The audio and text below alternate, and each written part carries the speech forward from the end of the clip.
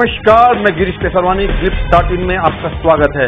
आइए आप लोगों को दिखाते हैं इस हफ़्ते की तमाम क्राइम की बड़ी खबरें।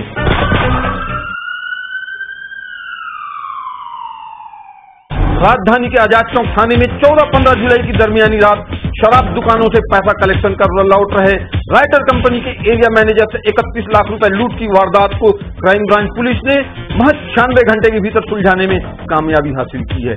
लूट के आरोप में पुलिस ने छह बदमाशों को रायपुर और जगदलपुर से गिरफ़्तार किया है। लुटेरों के कब्जे से पुलिस ने 26 लाख रुपए नकदी सहित एक एयर पिस्टल लूट में इस्तेमाल की गई। कार को भी जब्त कर लिया है।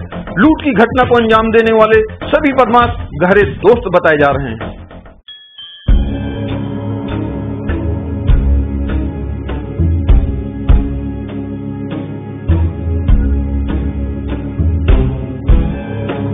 मामले का खुलासा करते हुए आईजी प्रदीप गुप्ता और एसएसपी अमरेश मिश्रा ने बदमाशों द्वारा घटना को कैसे अंजाम दिया, इस संबंध में विस्तार से जानकारी दी।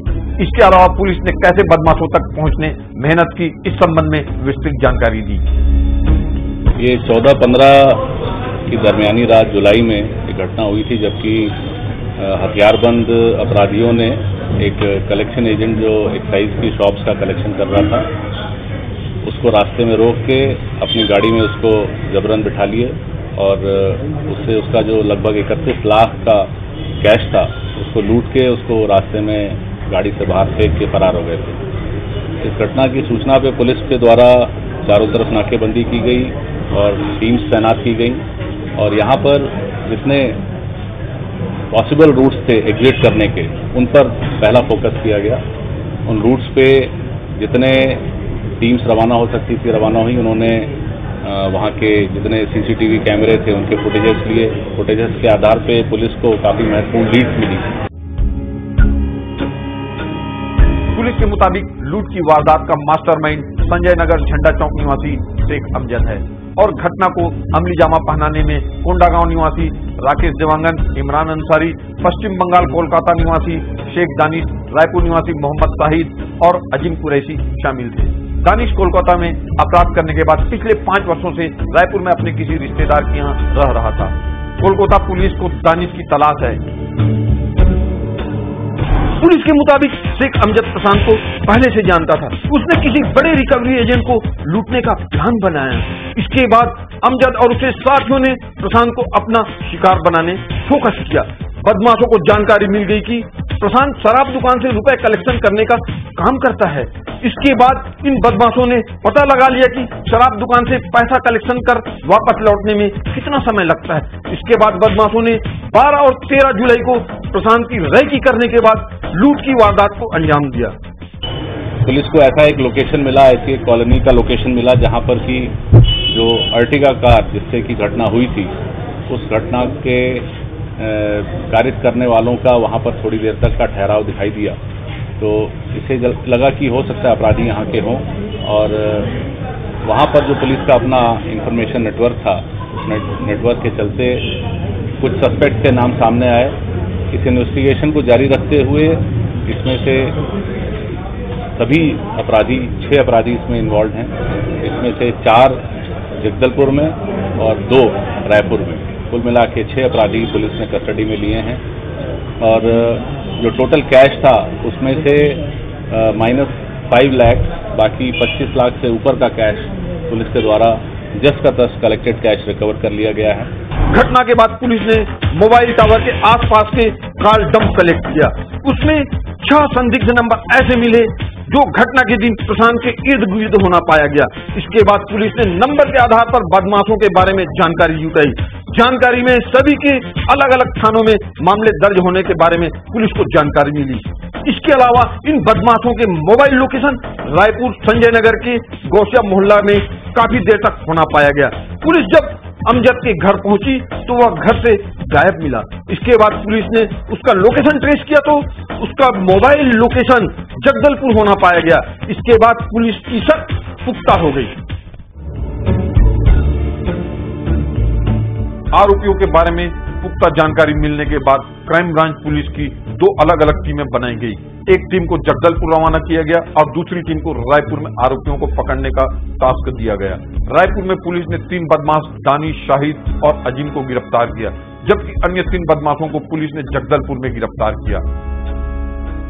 इस घटना में कुल छह लोग इन्वॉल्व थे, जिसमें कि चार लोग रायपुर के रहने वाले थे, चार अपराधी, और दो अपराधी जो थे वो कोंडा गाँव के थे। ये सभी अपराधी पूर्व में भी अपराध कर चुके हैं। इसमें से एक जो है, वो पूर्व में कलकत्ता में उसके नाम पर कई अपराध हैं और वहाँ पर निगरानी बदमाश भी है वो। जो रायपुर के और कोंडा गाँव के भी अपराधी हैं, ये भी इनके पूर्व रिकॉर्ड्स हैं और काफ़ी ज़्यादा सोचे समझे तरीके से, काफ़ी पूर्व तैयारी के साथ इन्होंने इसकी रखी की थी, योजना बनाई थी। और जो कलेक्शन एजेंट है, उसको फॉलो किया था दो गाड़ियों में। और घटना के बाद जिस तरह से ये घटना को अंजाम देना चाह रहे थे, वैसा कर पाए थे।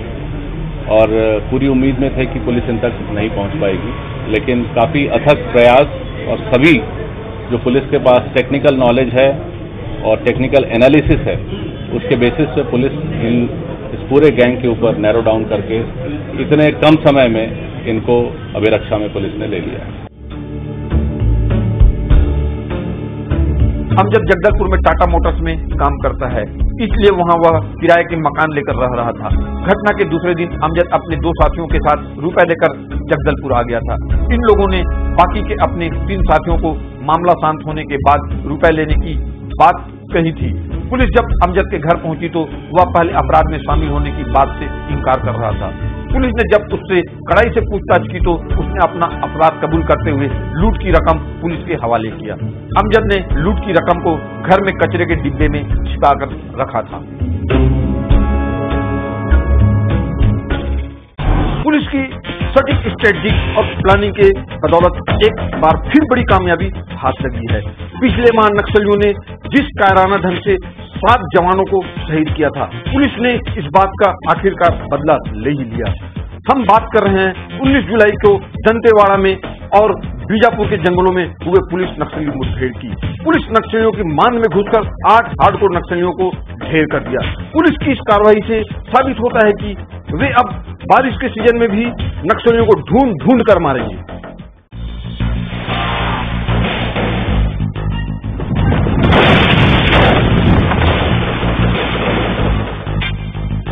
एंटी नक्सल ऑपरेशन एसपी की माने तो वे बारिश के सीज़न में नक्सलियों को घेर कर मारने के लिए तीन बिंदुओं पर काम कर रहे हैं, जिसमें कैंपों की सुरक्षा, ट्रेनिंग के अलावा सीमित और संयमित कार्रवाई है। इसी आधार पर उन्हें बड़ी सफलता हाथ लगी एक बहुत ही अच्छे इनपुट के ऊपर ये कार्रवाई की गई थी, और जिसमें दंतेवाड़ा के एसटीएफ और डीआरजी के लोग थे। अभी बरसात में विशेषकर बहुत तीन चीज़ें हमारे लिए बहुत इम्पोर्टेंट हैं, जिस पे हम लोग काम कर रहे हैं। पहला है कि हमारे कैंपों की सुरक्षा। दूसरा है कि हमारा ट्रेनिंग और तीसरा है कि सीमित और संयमित ऑपरेशन और इस सीमित और संयमित ऑपरेशन का ही एक नतीजा नतीजा था, जिसमें दंतेवाड़ा में जो हमें अच्छी सफलता मिली। और इन्फॉर्मेशन अच्छा मिला इनपुट बहुत अच्छा था।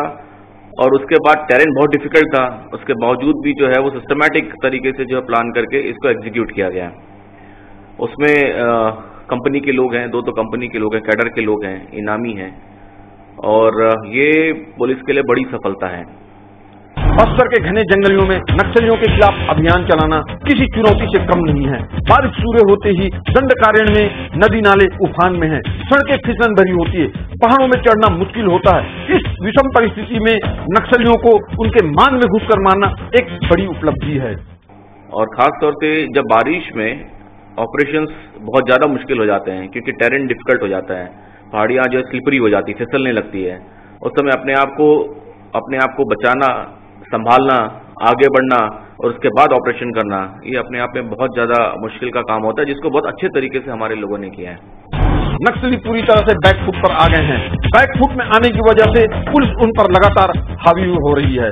बता दें कि पिछले छह महीने के भीतर पुलिस ने 18 से ज़्यादा नक्सलियों को घेर कर चुकी है। मारे गए नक्सलियों में कई बड़े इनामी और हार्डकोर नक्सली हैं।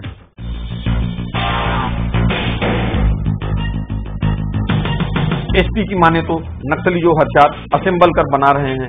वह पूरी तरह फेल है। नक्सलियों के कब्जे से जब तक की गई पेन गन की मारक क्षमता ज़्यादा नहीं है।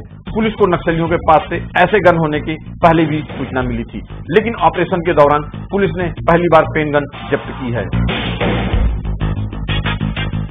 माओवादी अलग अलग किस्म के हथियारों को बनाने की कोशिश करते रहते हैं। इंडिजिनियस तरीके से बनाने की असेंबल करके ये कोशिश करते हैं, उसके प्रयोग भी करते रहते हैं। और ये जो पेन गन है, पेन गन का इस्तेमाल अभी तक, इसके बारे में सूचना थी हमारे पास में, और ये पहली बार सामने आया है। शॉर्ट रेंज का है, शॉर्ट रेंज का इस्तेमाल करने वाला है।